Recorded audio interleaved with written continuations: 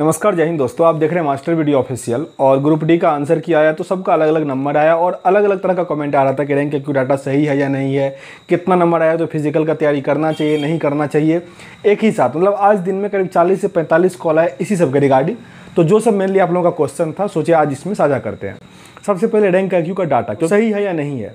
देखिए 90 परसेंट सही कह सकते हैं, लेकिन उसमें क्या होता है? क्योंकि बहुत लोगों का ये था कि मेरा 1700 रैंक आ रहा है, होगा कि नहीं होगा 10000 बचे में।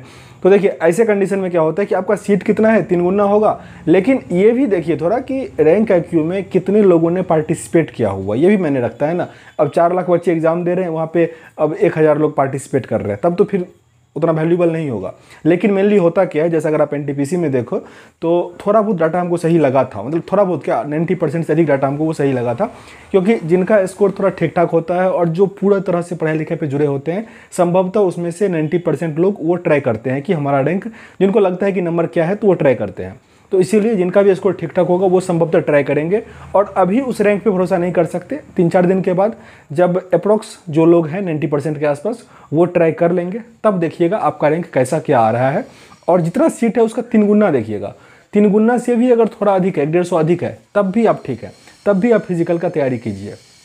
और हमसे जो पूछते हैं कट्टा फ़ोटो इस सब टाइप का तो देखिए, मैं हर एक जोन का अलग अलग बना दिया हूँ। जो मेरे मतलब अंदर था, जो हम कर सकते थे कि जो हिसाब किताब जो भी होता है उस हिसाब से जो मैं कहूँगा, वो मैं कर दिया हूँ। तो वो आप देख सकते हैं बात रहा परसेंटाइल ये सब चीज़ का। तो देखिए, वो डिपेंड करता है टॉपर पे। आपके बैच का टॉपर कौन था? ठीक ना? वो कितना स्कोर किया है? उस हिसाब से परसेंटाइल डिपेंड करता है। मतलब इसमें ये होता है कि मान लो 100 नंबर का एग्ज़ाम था, आपके शिफ्ट का टॉपर जो है, अगर 100 नंबर ले आया और आप 40 नंबर लाए हो, मान लेते हैं तो आपको 40 नंबर ही मिला। तब आप गड़बड़ हो। लेकिन आपके बैच का टॉपर है, अगर मान लो अस्सी नंबर लाया, फिर वहाँ अगर 40 नंबर लाए तो आपका नंबर 50 हो जाएगा, क्योंकि ये जो 80 लाया ना, वो 100 बन जाता है। तो हालाँकि इस पर मैंने वीडियो बनाया है, ये परसेंटाइल को या बैंकिंग में ऐसे ही ऐड किया जाता है नंबर तो ये हालाँकि बहुत चैनल पे भी मिल जाएगा और हम भी एक वीडियो बनाए हुए हैं परसेंटाइल का। तो ये तो कंसेप्ट क्लियर है। अब बात करते हैं कि अगर रैंक मेरा उसके अंतर आ रहा है, थोड़ा जैसे मान लो कि दो सौ सीट है छः सौ लोगों को लेगा और मेरा रैंक पाँच सौ के आसपास आ रहा है, तब क्या करें? मेरे भाई आप फ़िज़िकल का तैयारी कीजिए, तब भी कीजिए।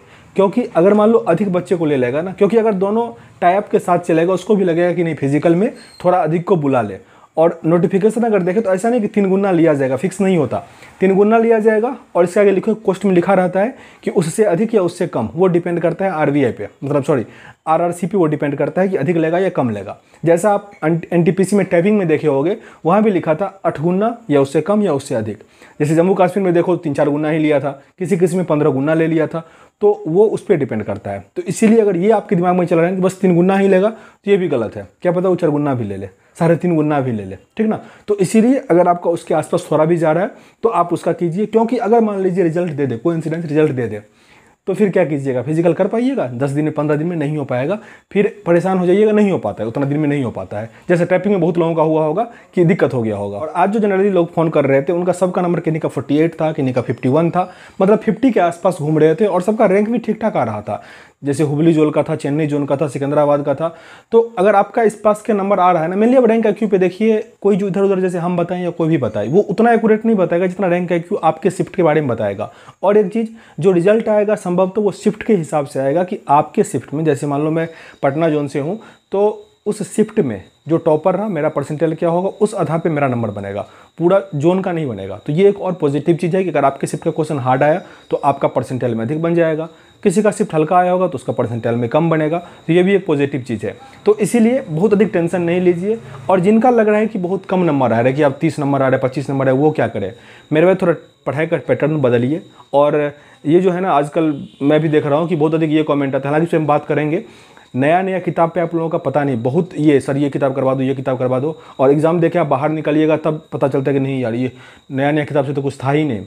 तो एक बेसिक पढ़ाई जो होता है ना, वो एक बार आपको करना ही पड़ेगा, चाहे आप किसी चैनल को पकड़िए जहाँ पे एक बेसिक तरीके से सब कुछ पढ़ाया गया है, एक बार वो पढ़ना ही पड़ेगा। एक बार कुछ एक ऐसा अच्छे तरीके से पढ़ लीजिए टॉपिक वाइज पढ़ लीजिए, वही आपको काम करेगा, चाहे आप कहीं क्लास ज्वाइन करके पढ़ लो, पैसा खर्चा करके पढ़ लो, या फ्री में पढ़ लो, जैसे भी पढ़ लो, एक बार वो ज़रूर कीजिए, तभी स्कोर इन्हेंस होगा। वैसे अगर कहीं दस कोर्स कर मतलब दस इंपॉर्टेंट क्वेश्चन करवाया जा रहा है, या कुछ ऐसा करवाया जा रहा है उसमें अगर आप सोचेगा इंप्रूवमेंट होता है, नहीं, उसमें बस टेस्ट होता है। आप जो प्रैक्टिस सेट देते हो, उसमें ये नहीं होता कि आपका एग्ज़ाम में बहुत अधिक नंबर ले आओगे, इस कारण से कि आप बहुत सेट दिए हो तो मुझे बहुत क्वेश्चन आता है, नहीं। टेस्ट में होता है कि आप टाइम मैनेजमेंट करते हो, आप पढ़ाई के साथ टच में रहते हो, जिस भी टॉपिक में आपका नंबर कम आता है तो उसको आप फिर बुक से पढ़ते हो तो फिर टेस्ट में भी नंबर अधिक आएगा, वहाँ भी नंबर अधिक आएगा। लेकिन अगर आप डेली बस एक टेस्ट देते हो, ना ही उसका रिवाइज करते हो, ना ही उस कमज़ोर टॉपिक को पढ़ते हो, फिर मेरे भाई वो टेस्ट आपका किसी काम का नहीं। आप देखोगे कि किसी टेस्ट में आपको साठ आया, किसी में चालीस आया, किसी में नब्बे आया, कोई फिक्स नहीं, अगले टेस्ट में क्या आएगा? तो एक पढ़ाई का सही तरीके से बनाना पड़ेगा। हालाँकि ये डिपली थोड़ा कभी बात करेंगे, ये थोड़ा ये हो गया बात। जिनका एक एवरेज आ रहा है रैंक आसपास जा रहा है फ़िज़िकल का ज़रूर तैयारी कीजिए, नहीं होगा तो ज़्यादा उम्मीद नहीं रखिए बस। उम्मीद रखिएगा तो टेंशन हो जाता है। रिलेशन रिलेशन में किसी को नहीं बताइए, नहीं तो वो मेंटली प्रेशर करेगा। बस आप समझिए रिज़ल्ट आया है, कोई पूछे तो बोल दीजिए कि नहीं हुआ या जो भी है, बोल दीजिए। क्योंकि अगर हो गया तो वो सरप्राइज़ हो जाएगा कि यार तो मतलब ये कर दिया। तो इसीलिए दूसरे को हमेशा सस्पेंस में ही रखिए कि भाई तू सस्पेंस में ही मर। एक फ़िल्म में कोई था, अक्षय कुमार का था, उसमें कहते तुम सस्पेंस में ही मर। तो दूसरे को हमेशा कहिए कि हम बेवकूफ़ी हैं। अगर काबिल बन जाएँगे तो यार परिचय नहीं देना पड़ता। जो आपका दोस्त पड़ोस होगा ना, वही बोलेगा कह रहे इसको भी हो गया। तो इसीलिए सबको बताना ज़रूरी नहीं था कि रिज़ल्ट आ गया, नहीं हुआ। कोई पूछे तो नहीं, अभी तक तो नहीं आया, नहीं है। एक बार बेजत हो जो क्या दिक्कत पड़ता है? दोबारा तो नहीं पूछेगा ना। लेकिन अगर ये पूछ दोगे, ये कह दोगे ना कि फिर से आ रहा है, फिर से आपसे वो पूछेगा। इसलिए एक ही बार बेजत हो जाओ, नौकरी होगा तो फिर वो तमाचा ही होगा उसके लिए। तो आपका एक एवरेज नंबर भी आ रहा है रैंक में ठीक ठाक आ रहा है। मैं नंबर कोई फिक्स नहीं कहूँगा कि पचास नंबर चालीस नंबर क्योंकि अलग अलग जोन का अलग अलग सीन बन रहा है। आप देख रहे होगे रैंक आई पे। और पूरा आप कैटेगरी का डाटा देखो, जो आप वहाँ पे दिखा रहा होगा ना, पूरा जोन का नहीं देखो।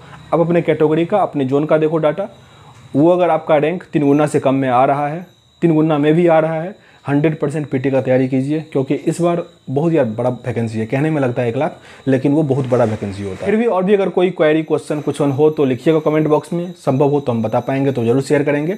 चलिए, इस वीडियो में इतना ही, मिलते हैं नेक्स्ट वीडियो में। तब तक के लिए जय हिंद।